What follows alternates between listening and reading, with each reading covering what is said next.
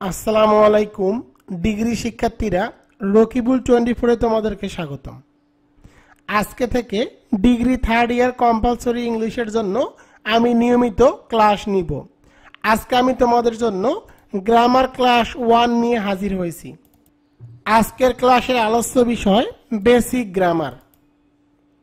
তোমরা যারা degree third year compulsory English suggestion দুই পরীক্ষা দুই হাজার বাইশ। শিক্ষাবর্ষ উনিশ বিশের স্টুডেন্ট আছো, তাদের জন্য এই ক্লাসগুলো খুব ইম্পর্টেন্ট আমি প্রতিনিয়ত ইনশাল্লাহ তোমাদের গ্রামার রিটেন এবং প্যাসেজ রাইডিং এর উপরে ভিডিও টিউটোরিয়াল একদম ফ্রিতে রকিবুল টোয়েন্টি ফোরে আপলোড করে দিব ইনশাল্লাহ আজকে গ্রামার ক্লাস ওয়ানে তোমাদেরকে শেখাবো বেসিক গ্রামার ক্লাস শুরু করার আগে তোমাদেরকে একটা বিষয় জানিয়ে দেই তোমরা যারা degree third year compulsory English নিয়ে অনেক টেনশনে আছো, তাদের জন্য রকিবুল টোয়েন্টি ফোর পাবলিকেশনস বের করেছে। Sure A plus degree third year compulsory English shortcut suggestion and solution pass course hand note দুই হাজার চব্বিশ। তো তোমরা দেখো, এই হ্যান্ড নোটটি একদম বাংলা অনুবাদ সহ আমি এবছর সুন্দরভাবে তৈরি করেছি। এই সাজেশনের পেজ সংখ্যা পঁচানব্বই থেকে একশো দুই নম্বর পেজ আমি আজকে আলোচনা করব। তো তোমরা যারা এখন এই সাজেশন বইটি ক্রয় করনি তারা আমার ইমো এবং হোয়াটসঅ্যাপে যোগাযোগ করো। আমার ইমো এবং হোয়াটসঅ্যাপ নম্বর zero one seven double four double five nine four seven five এই বইয়ের প্রতিটি পেজের ভিডিও টিউটোরিয়াল আমি পেজ বাই পেজ আমার এই ইউটিউব চ্যানেলে আপলোড করে দিব। বেসিক গ্রামার তোমাদেরকে আজকে আমি শেখাবো টেন্স তো টেন্স শিখতে হলে তোমাদেরকে প্রথমে পার্সন শিখতে হবে। তো পার্সন কি? যে ওয়ার্ড দ্বারা কোনো ব্যক্তিকে বোঝায়, তাকে পার্সন বলে। পার্সন তিন প্রকার। First person, second person, third person.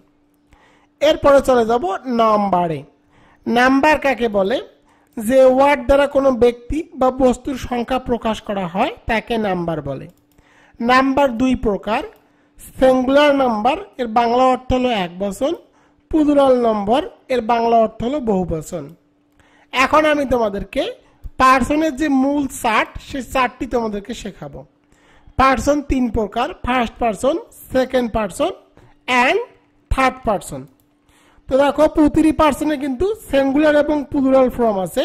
তো দেখো, ফার্স্ট পার্সন সিঙ্গুলার হলো আই, পুলুরাল হলো উই। তোমরা মনে রাখো, first person singular I, plural form হলো উই। সেকেন্ড পার্সন হলো সিঙ্গুলার ইউ, আবার পুলুরাল হলো you. Third person singular number হলো হি শি ইট নেম আর পুলুরাল হলো দে নেমস অর্থাৎ থার্ড পার্সন সিঙ্গুলার নাম্বার কিন্তু তোমাদের জন্য খুব ইম্পর্টেন্ট তোমরা এটা মনে রাখো। হি শি ইট নেম আর পুদুরাল ফ্রম হলো দে নেমস তো দেখো আমি এখানে দিয়েছি পার্সনের মধ্যে সব থেকে গুরুত্বপূর্ণ হলো থার্ড পার্সন সিঙ্গুলার নাম্বার কারণ এই পার্সন সাবজেক্ট হিসাবে থাকলে এস যুক্ত সাহায্যকারী ভাব বসাতে হয়। তো দেখো থার্ড পার্সন সিঙ্গুলার নাম্বার মনে রাখার টেকনিক আমি দিয়েছি, সে ইহার নাম। হি মানে সে, সি মানে সে, ইট মানে ইহার, নাম মানে নাম। সে ইহার নাম, এটি হলো থার্ড পার্সন সিঙ্গুলার নাম্বার তোমরা থার্ড পার্সন সিঙ্গুলার নাম্বার ভালোভাবে মুখস্থ রাখো, কারণ এই থার্ড পার্সন সিঙ্গুলার নাম্বার তোমাদের জন্য খুবই ইম্পর্টেন্ট এবার চলে যাব টেন্সে টেন্স কাকে বলে? ক্রিয়া সম্পন্ন হওয়ার সময় বা কালকে টেন্স বলে। টেন্সের প্রকারভেদ। টেন্স প্রধানত তিন প্রকার। প্রেজেন্ট টেন্স বর্তমান কাল পাস্ট টেন্স অতীতকাল ফিউচার টেন্স ভবিষ্যৎকাল আবার প্রতিটি টেন্সকে চার ভাগে বিভক্ত। এক নম্বরে ইনডিফিনিট দুই নম্বরে কন্টিনিউয়াস তিন নম্বরে পারফেক্ট চার নম্বরে পারফেক্ট কন্টিনিউয়াস অর্থাৎ present indefinite present continuous present perfect present perfect continuous past indefinite past continuous past perfect past perfect continuous future indefinite future continuous future perfect future perfect continuous তো দেখো টেন্সের ক্ষেত্রে দুটি বিষয় সর্বদা মনে রাখতে হবে। এক নম্বরটি হলো সাহায্যকারী ভার্ব এবং দুই নম্বরটি হলো মূল ভার্ব টেন্স মানে কিন্তু সাহায্যকারী ভার্ব এবং মূল ভার্ব তোমরা যখন রাইট ফর্ম অফ ভার্বে শেখবা, সেখানে তোমাদেরকে সাহায্যকারী ভার্ব এবং মূল ভার্ব এ দুটি সাধারণত ঠিক করতে হয়। তো দেখো, কীভাবে তোমরা টেন্সটি মনে রাখবা? কিছু ভার্ব যা টেন্স মনে রাখার জন্য প্রয়োজন। তো দেখো টেন্সের জন্য তোমাদেরকে দুটি ভার্ব মনে রাখতে হবে। একটি হলো বি ভার্ব অন্যটি হলো হ্যাভ ভার্ব তো বি ভার্বগুলো হলো be am is are was were been. Have verb হলো হ্যাভ হ্যাভ হ্যাজ হ্যাড তোমরা এই দুটি ভার্ব মুখস্থ করো, কারণ তোমাদেরকে টেন্স মনে রাখতে হলে এই দুটি ভার্ব মুখস্থ রাখতে হবে। Be verb, be am is are was were been. Have verb have have has had এখন তোমাদেরকে মুখস্থ রাখতে হবে যে কোনটি কোন ফ্রম। তো দেখো বি ভার্বের ফর্মগুলো হলো be base form am is are present form was were past form been past participle form তোমরা এগুলো মনে রাখো be base form am is are present form was were past form been past participle form এবার চলে যাব have verb have verb have base form have has present form had past form এগুলো মুখস্থ রাখো। যদি এগুলো মুখস্থ রাখতে পারো, তাহলে কিন্তু তোমরা খুব সহজে যে কোনো টেন্সের সাহায্যকারী ভাব বের করতে পারবা। তো দেখো, আমি এখানে দিয়েছি টেন্সের সাহায্যকারী ভার্বের তালিকা। প্রথমেরটি প্রেজেন্ট টেন্স, দুই নম্বর হলো পাস্ট টেন্স এবং তিন নম্বরটি ফিউচার টেন্স এক নম্বরে ইনডিফিনিট দুই নম্বরে কন্টিনিউয়াস তিন নম্বরে পারফেক্ট চার নম্বরে পারফেক্ট কন্টিনিউয়াস তো প্রেজেন্ট ইনডিফিনিট টেন্সে কোনো সাহায্যকারী ভাব নাই পাস্টেরও নাই ফিউচারের হলো শ্যাল উইল এরপরে দেখো প্রেজেন্ট কন্টিনিউয়াসের সাহায্যকারী ভার্ব হলো am is are past continuous was were future continuous shall be will be এরপরে দেখো প্রেজেন্ট পারফেক্ট এর সাহায্যকারী ভার্ব হলো have has past perfect had future perfect shall have will have এরপরে দেখো present perfect continuous have been has been past perfect continuous had been future perfect continuous shall have been will have been তো তোমরা আপাতত এগুলো একটু চোখ বুলিয়ে নাও। এবার আমি তোমাদেরকে শর্টকাট টেকনিক শিখিয়ে দিব।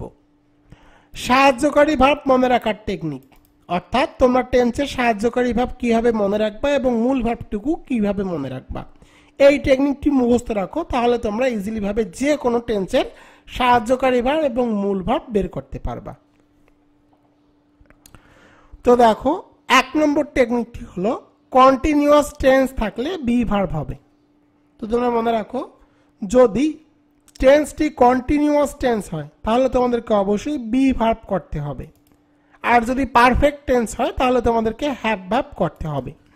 তো তোমরা মুখস্থ রাখো কন্টিনিউয়াস টেন্স হলে বি ভার্ব হবে, আর পারফেক্ট টেন্স হলে হ্যাপ ভার্ব হবে।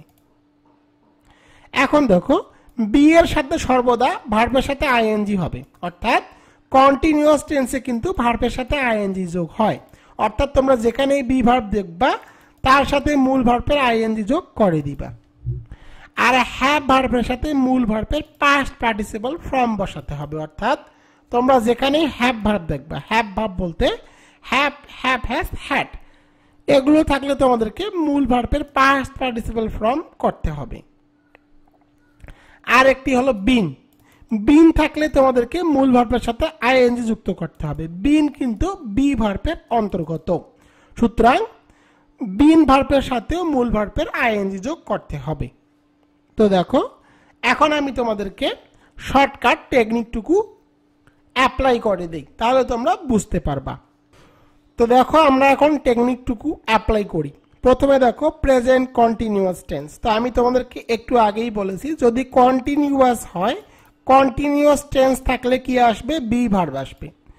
তো বি ভার্বগুলো কি? তো বি ভার্বগুলো হলো be am is are was were বিন তো আমি তোমাদেরকে আগেই বলে দেই, তোমরা কীভাবে টেন্সের সাহায্যকারী ভার্ব এবং মূল ভার্বগুলো বের করবা? তার শর্টকাট টেকনিকটি হলো কন্টিনিউয়াস টেন্স থাকলে বি ভার্ব আসবে। তো বি ভার্বগুলো আমি এখানে বসিয়ে দিলাম, দেখো B am is are was were বিন তো দেখো, এখানে প্রথমে কি আছে? প্রেজেন্ট তো প্রেজেন্ট যেহেতু আছে, সুতরাং তোমাদেরকে এই ভার্বগুলোর প্রেজেন্ট ফর্ম বের করতে হবে।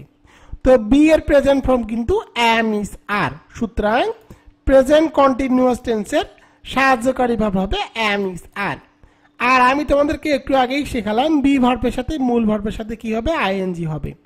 তো তোমাদেরকে মুখস্থ রেখে নাও, যেহেতু বি হলো অ্যাম ইজ আর সুতরাং এই ভার্বের সাথে আইএনজি যুক্ত হবে।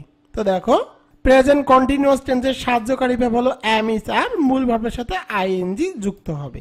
এবার পরেরটিতে চলে যাই, দেখো। পাস্ট কন্টিনিউয়াস টেন্স তো আমি একটু আগেই বলেছি, যেহেতু কন্টিনিউয়াস আছে কন্টিনিউয়াস থাকলে কি হবে? বি ভার্ব হবে। আর বি ভার্বগুলো হলো am is are was were বিন তো দেখো সামনে কি আছে? পাস্ট আছে। যেহেতু সামনে পাস্ট আছে, সুতরাং অ্যাম ইস আর ওয়াস ওয়ারের মধ্যে পাস্ট ফর্ম কোনটা? অ্যাম ইস আর ওয়াস ওয়ারের মধ্যে পাস্ট ফর্ম হলো ওয়াস ওয়ার তো আমি এখানে ওয়াস ওয়ার বসিয়ে দিলাম। এরপরে দেখো যেহেতু বি ভার্বের সাথে কি হয়? বি ভার্বের সাথে মূল ভার্বের আইএনজি যুক্ত হয়। সুতরাং এখানে টেন্সের গঠন হবে ওয়াস ওয়ার প্লাস মূল ভার্বের সাথে আইএনজি যোগ। এবার চলে যাব তিন নম্বরে ফিউচার কন্টিনিউয়াস টেন্স তো ফিউচার কন্টিনিউয়াস টেন্সে সাহায্যকারী ভাব হিসাবে তোমাদেরকে বসাতে হবে। তোমাদেরকে আমি একটা বিষয় জানিয়ে দিই। ফিউচার মানে কিন্তু হলো শ্যাল উইল ফিউচার মানেই শ্যাল উইল ফিউচার থাকলে অবশ্যই তোমাদেরকে শ্যাল উইল বসাতে হবে। এরপর দেখো কন্টিনিউয়াস তো আমি তোমাদেরকে একটু আগেই বলেছি কন্টিনিউয়াস মানে হলো বি ভার্ব আর বি ভার্বগুলো আমি তোমাদেরকে শিখিয়েছি, দেখো অ্যাম ইস আর ওয়াস ওয়ার বিন তো দেখো, যেহেতু ফিউচার কন্টিনিউয়াস তো ফিউচার কন্টিনিউয়াসে যে মূল ভার্বটি থাকে, তার বেস ফ্রম বসাতে হয়। তো বি আর ফিউচারের সাথে কি থাকে? শ্যাল উইল তো এখানে অ্যান্সার হবে শ্যাল বি উইল বি আর বি মানে কি? মূল ভার্বের সাথে আইএনজি যোগ।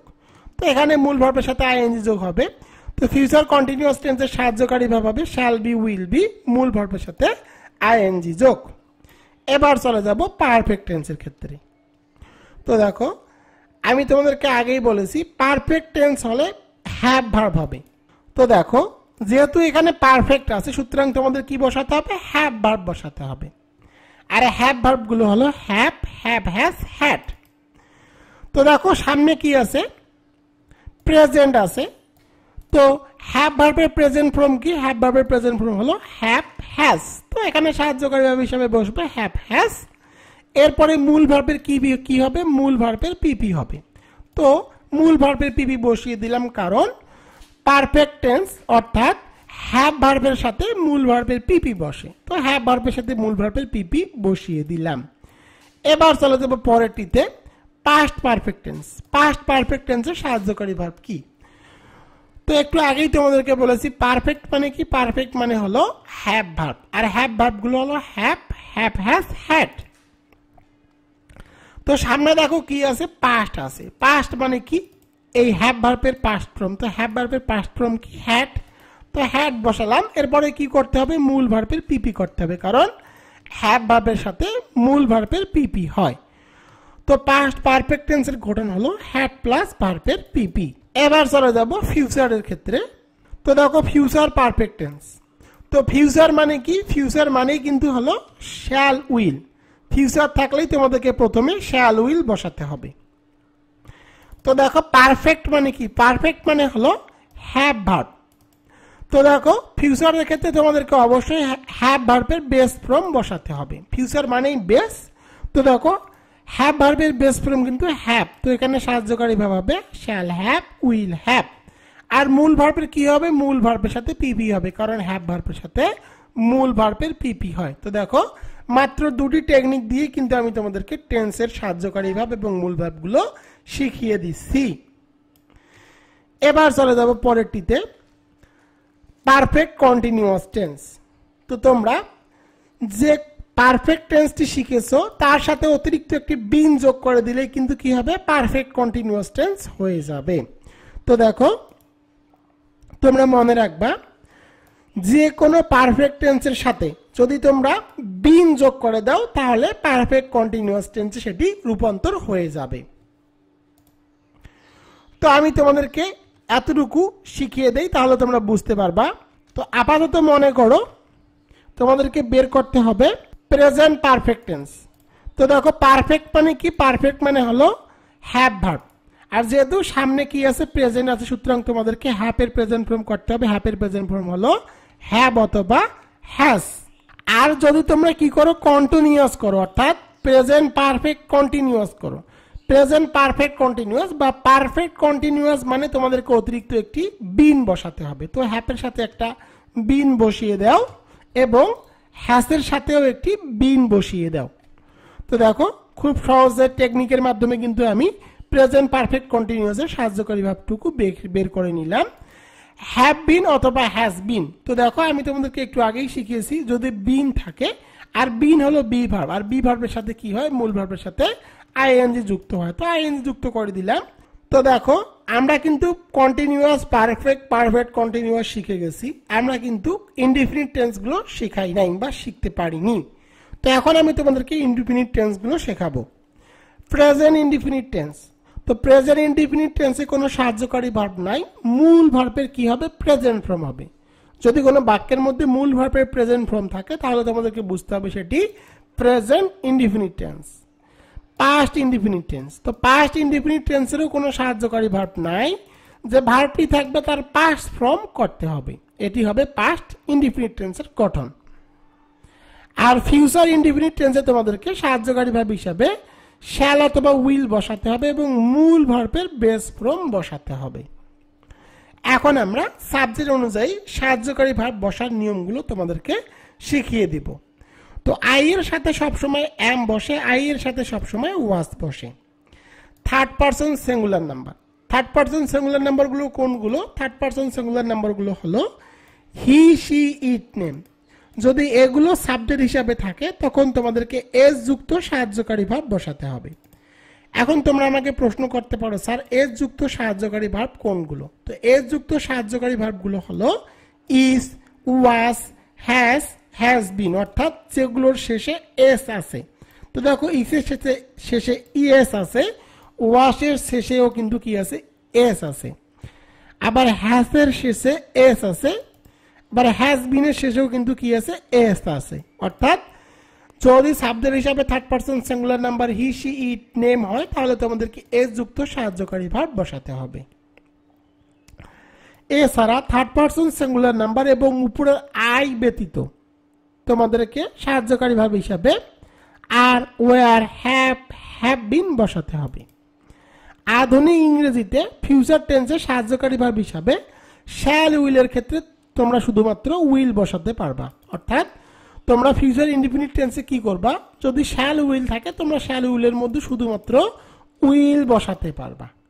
এতক্ষণ ধরে আমি তোমাদেরকে টেন্সের যে গঠন, সেই গঠনটি টেকনিকের মাধ্যমে শেখালাম। এখন আমি তোমাদেরকে টেন্সের যে গতানুগতিক গঠন, সেই গঠনটি দেখাবো। তো দেখো, এটি হলো টেন্সের গতানুগতিক গঠন। তোমরা চাইলে এটি খাতার মধ্যে রাপ করে নিতে পারো। এটি টেন্সের গতানুগতিক নিয়ম।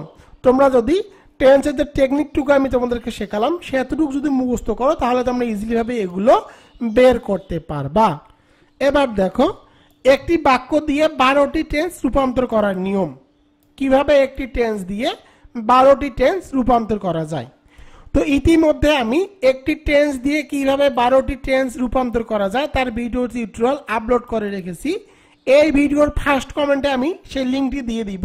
একটি টেন্স দিয়ে কীভাবে বারোটি টেন্স রূপান্তর করা যায়? তোমরা চাইলে সেখানে ক্লিক করে একটি টেন্স দিয়ে কীভাবে বারোটি টেন্স রূপান্তর করা যায় সে ভিডিওটি দেখে নিতে পারো। আর এখানে আমি দেখো এক্সাম্পলগুলো দিয়ে রেখেছি।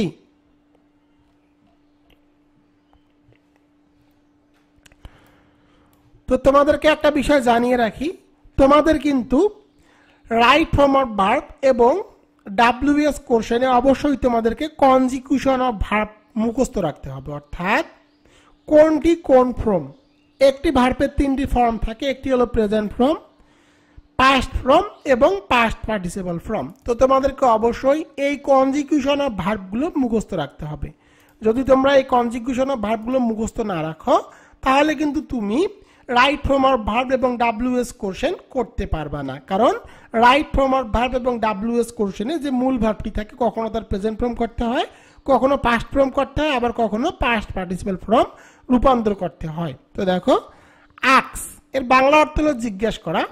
পাস্ট ফর্ম হলো আক্সড এবং পাস্ট পার্টিসিপাল ফর্ম হলো আক্সড ক্লিন এর বাংলা অর্থ হলো পরিষ্কার করা।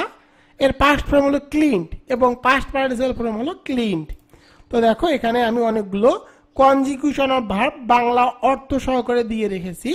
তোমরা চাইলে এই কনজিকিউশন অফ ভার্বগুলো মুখস্থ রাখতে পারো। কারণ এগুলো যদি তোমরা মুখস্থ না করো, তাহলে কিন্তু তোমরা রাইট ফ্রম আর ভার্ব এবং ডাব্লিউএস কোশ্চেন করতে পারবা না। তো এগুলো তোমাদের কাছে যাদের বই আছে, তারা অবশ্যই এগুলো অবশ্যই এ টু জেড মুখস্থ করে রাখো। এখন আমি তোমাদেরকে ভার প্লাস আইএনজি করার নিয়ম শেখাবো। কারণ রাইট ফর্ম আর ভার্পে অনেকগুলো ওয়ার্ড আছে, যে ওয়ার্ডগুলোর সাথে তোমাদেরকে আইএনজি যুক্ত করতে হবে। অর্থাৎ তোমরা কীভাবে ভার্পের সাথে আইএনজি যুক্ত করবা, তার নিয়মটুকু এখন আমি তোমাদেরকে শিখিয়ে দিব। তো দেখো, কোনো ভার্পের শেষে যদি কি থাকে, ই থাকে। কোনো ভার্পের শেষে যদি ই থাকে, তাহলে ই কে বাদ দিয়ে তোমরা আইএনজি যুক্ত করবা, যেমন কাম। তো দেখো, কামের শেষে কি আছে? ই আছে। তো ই কে বাদ দিয়ে তোমাদেরকে আইএনজি যুক্ত করতে হবে। অনুরূপভাবে দেখো, গিফট। গিফের সাথে শেষে কি আছে? ই আছে। ই থাকলে ই কে বাদ দিয়ে আইএনজি যুক্ত করতে হবে। অনুরূপভাবে তোমরা এগুলো পড়ে নিও। হ্যাপ থেকে হ্যাভিং ল্যাব থেকে লাভিং মেক থেকে মেকিং রাইট থেকে রাইটিং কিন্তু যদি সর্বশেষে দুইটা ই থাকে, অর্থাৎ ই যদি ডাবল থাকে, তাহলে সেখানে তোমাদেরকে আর ই কে লোপ করা যাবে না, অর্থাৎ ই কে বাদ দেওয়া যাবে না। যেমন এগ্রি থেকে এগ্রিং এখানে যেহেতু ডাবল ই আছে, সুতরাং এই ডাবল ই কে আর বাদ দেওয়া যাবে না, এর সাথে সাথে আইএনজি যুক্ত করতে হবে।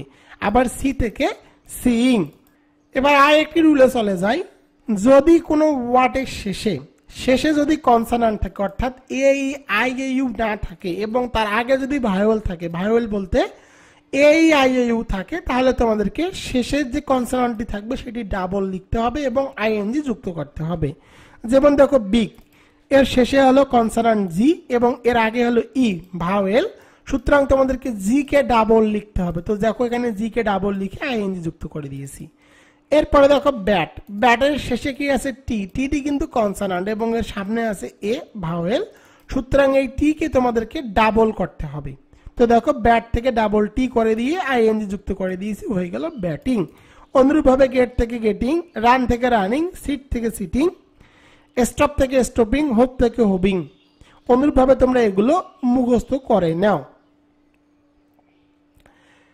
এবং দেখো, আমি এখানে তিনটি ওয়ার্ড দিয়েছি। এই তিনটি ওয়ার্ড হলো ব্যতিক্রম লিসেন থেকে লিসেনিং ভিজিট থেকে ভিজিটিং রিমেম্বার থেকে রিমেম্বারিং এই তিনটি ওয়ার্ড তোমরা একদম মুখস্থ করে নাও, এগুলো ব্যতিক্রম। তোমরা আর একটি রুলস মুখস্থ করে নাও। যদি কোনো ভার্বের শেষে আই ই থাকে, তাহলে আই ই কে পরিবর্তন করে তোমাদেরকে ওয়াই বসাতে হবে এবং এর শেষে আইএনজি যুক্ত করতে হবে। যেমন ডাই থেকে ডাইং এখানে আই ই কে বাদ দিয়ে ওয়াই আই এন জি করে দিয়েছি। আবার দেখো লাই এখানে কি আছে? আইই আইই থাকলে আইই কে পরিবর্তন করে তোমাদেরকে ওয়াই বসাতে হবে এবং এবং শেষে আইএনজি যুক্ত করতে হবে। এছাড়া দেখো আছে বি বি এর সাথে কিন্তু আইএনজি যুক্ত করলে এটি কি আর কোনো পরিবর্তন করা যাবে না? যেমন বি থেকে বিং তো তোমরা এগুলো মুখস্থ করে রাখো। সাধারণত এই ওয়ার্ডগুলোর সাথেই আইএনজি যুক্ত করতে হয়। তো আজকে আমি তোমাদের শিওর এ প্লাস যে শর্টকাট সাজেশনটি আছে রকিবুল টোয়েন্টি ফোর পাবলিকেশনের এই সাজেশনের পেজ নম্বর পঁচানব্বই থেকে একশো দুই নম্বর পেজ তোমাদেরকে পড়ালাম। আমি ইনশাল্লাহ এবছর শিওর এ প্লাস যে শর্টকাট সাজেশনটি আছে রকিবুল টোয়েন্টি ফোর পাবলিকেশনের এই সাজেশনের প্রতিটি পেজের ভিডিও টিউটোরিয়াল একদম ফ্রিতে রকিবুল টোয়েন্টি ফোরে আপলোড করে দিব ইনশাল্লাহ। তোমার, তোমরা যদি এখনও এই বইটি সংগ্রহ করে না থাকো, তাহলে অবশ্যই আমার ইমো এবং হোয়াটসঅ্যাপে যোগাযোগ করো। আমার ইমো এবং WhatsApp number zero one seven double four double five nine four seven five.